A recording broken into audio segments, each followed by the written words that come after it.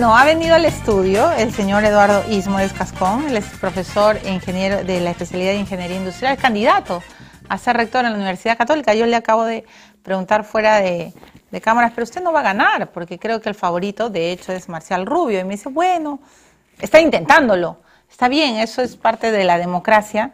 Y también me han contado, señor Ismodes, ¿cómo está? Buenas noches, que usted es el enviado de Monseñor Cipriani. Bueno, ese fue el rumor con el cual le atacaron fuertemente tratando de bloquearme, ¿no? Esa ha sido la, campaña que, bueno, la he escuchado con, mucha fuerza. ¿Usted es del Opus Dei? No, no, de ninguna manera. Si lo fuera, no tendría ningún inconveniente en, reconocerlo. reconocerlo. Hay gente muy valiosa ahí, ¿no? ¿Y, y, y por qué hasta ahora no se ha podido producir un debate entre usted y Marcial Rubio? Bueno, al doctor Rubio no le interesó mucho debatir conmigo, ¿no? Me imagino que como el alcalde Castañeda o el exalcalde mm, pensará que no le conviene debatir bueno, él está ahora, es casi ya el favorito, ¿no es cierto?, para ser reelegido como... Hasta mañana no sabemos. Hasta mañana. ¿Y qué es lo que usted, digamos, propone de diferente eh, eh, en relación a Marcial? El tema central, en realidad, más que la Universidad Católica, es, eh, yo creo que hay que transformar radicalmente la educación universitaria en el Perú. En el Perú no estamos formando a la gente como líder, como investigador, como innovador, como emprendedor Estamos muy concentrados en la formación en conocimientos. Eso lo demuestro en el libro que le han traído. Sí, usted tiene un libro acá, Cambiar la Universidad en el Perú, una contribución a partir de la experiencia de equipo, ¿no? Así es. Yo, creo que hay que revolucionar la educación en la universidad porque si no, nuestro país no va a crecer en la medida de vida. Nosotros estamos creciendo a una tasa, a una velocidad, que si la comparamos con Chile vemos que nunca los vamos a alcanzar. Con Corea del Sur peor todavía.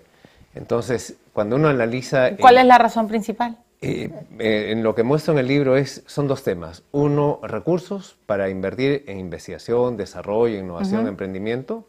Ese es uno. Y el otro bloque muy fuerte es formar líderes, investigadores, innovadores, emprendedores. Y eso es lo que tiene que hacer la universidad y no está haciendo. Pero la, la católica tiene líderes, tiene, ¿no, no siente eso? No, tenemos Tienen egresados que, que, bueno, que ocupan buenos puestos. Tenemos gente muy buena y gente destacada, pero cuando uno ve los promedios, eh, hace estadísticas, y lo tenemos eso muy medido desde el 2002, 2007, 2010, observamos que nuestra gente sale con una fuerte capacidad en conocimientos, en capacidad analítica, pero una pobre capacidad en trato interpersonal y soberbia. Y esos dos temas afectan la capacidad de ser líder, innovador, emprendedor. ¿Que usted cree que los que egresan de la católica están un poco soberbios? Hay, hay una dosis de soberbia. 20% de las, eh, los, eh, los, que encuestan a, nuestros, eh, a, nuestra gente, dicen, un 20% dicen que uno de los problemas de nuestros egresados es la soberbia y un 60% la capacidad en las relaciones interpersonales. Bueno, y un gran problema es el lío que tienen con el Vaticano. Ese es otro problema también que espero podamos resolver. ¿Siguen todavía con el título de pontificio o ya se los quitaron? Eh, eh, desde mm, del mm, cardenal Bertone nos llegó eh, la indicación de que no debíamos usar el nombre. Ajá. Pero acá en el Perú nos regimos por las leyes peruanas. Sí, claro. Y según las leyes peruanas seguimos siendo Siguen con el nombre de Universidad Católica del Perú. Sí. y, y si usted era elegido rector, ¿usted iba a tener no sé, un acercamiento con Cipriani. Si fuera elegido. Claro, pero es que, bueno. Sí, es que periodista, yo, soy optimista. yo soy periodista. No, es que yo creo que usted no va a ganar, pero perdóneme que se lo diga en la cara. me da pena. Lo que sí me parece es valiente usted, porque, claro, yo quería también entrevistar a Marcial, pero bueno, él, él se ha excusado, no, no, dice que no va a dar entrevistas a los periodistas, ¿no es cierto? Bueno, pero... Pero, pero digamos, si ganara, señor Ismodes, bueno, será un milagro, pues, ¿no? Pero, pero lo cierto es que sí. ¿Qué le recomendaría usted en todo caso a las nuevas autoridades de la Católica que mañana enfrentan este proceso de elección? Porque sinceramente están peleados, pues, ¿no?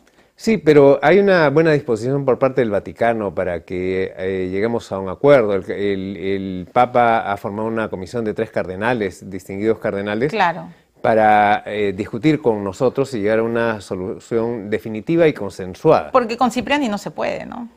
Eh, hasta ahora, pero mm. creo que ahí también tocado nosotros, porque hemos convertido en institucional un pleito entre dos personalidades. ¿no? Y eso hay que cortarlo, hay que terminarlo. ¿Usted cree que el lío fue entre, entre Marcial y Ciprián? No empezó así, pero ha terminado así. Y cuando ya las cabezas se encuentran en un nivel de enfrentamiento como el que se ha llegado, ya es muy difícil llegar a un acuerdo. Parte de eso es lo que me motiva a presentarme, ¿no? Decir, vamos a tratar de cambiar esta situación mostrando otra cara y otra disposición al diálogo. Pero bueno, ¿Cipriani estuvo equivocado o no en su rol frente a la PUC? En varios temas yo creo que sí ha estado equivocado. me pareció bastante intolerante en ciertos eh, pasajes. ha, hecho cosas muy crueles, como eh, impedir que los profesores de teología dicten sus cursos. Eso genera dramas humanos, porque es gente que se queda, inclusive sacerdotes que de repente dejan de tener un ingreso. De acuerdo. Con el cual se sustentaban e inclusive ayudaban a otras personas. Eso no es muy cristiano, ¿no?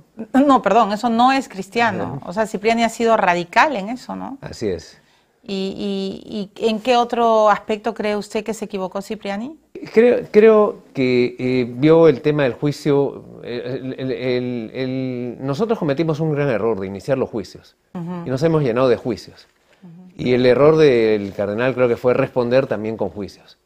Eh, es una situación, claro, es fácil eh, responder en, eh, mirando el pasado, ¿no? Profeta del pasado es algo muy simple. Pero a mí me desagrada cómo esto se ha convertido en un pleito entre abogados, donde los que ganan son los abogados, y ha perdido el cardenal en imagen, en presencia, y ha perdido la Universidad Católica. los dos, como católicos, hemos perdido.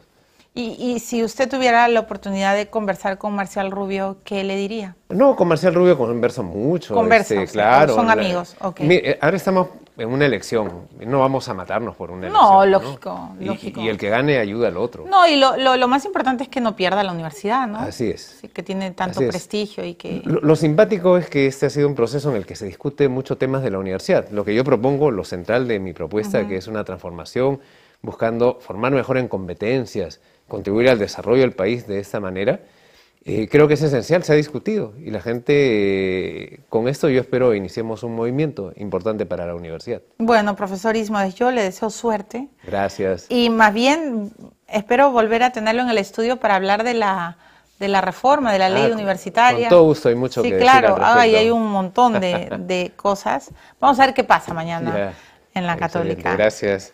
Suerte. Eh, yo me despido, tengo que, quédese por favor ahí, profesor es un segundito. Ya tengo que cerrar el programa, pero es, a ver, me voy a poner mis anteojos. Ajá, 12 y 3, hoy Canal N cumple 15 años. Estamos de cumpleaños y aquí hay muchos chicos que están hace largo tiempo, ¿no es cierto? Acá todos los eh, niños, iba a decir, los señoritos de la Cámara tienen 15 años bien cumplidos. Eh, hay que agradecer a todo el equipo humano, a todos los periodistas, a los profesionales de comunicación que sacan adelante este canal.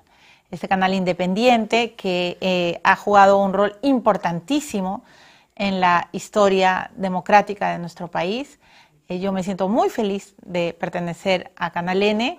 Solo voy a cumplir tres años, pero Canal N tiene 15 y me acuerdo muchísimo cuando en las épocas del fujimontesinismo teníamos que prender Canal N para enterarnos de lo que estaba pasando. Cuando en la señal abierta estaban contando otra historia, en Canal N se estaba contando la verdad de los hechos. Y eso creo que hay que agradecerlo, hay que respetarlo y hay que valorarlo.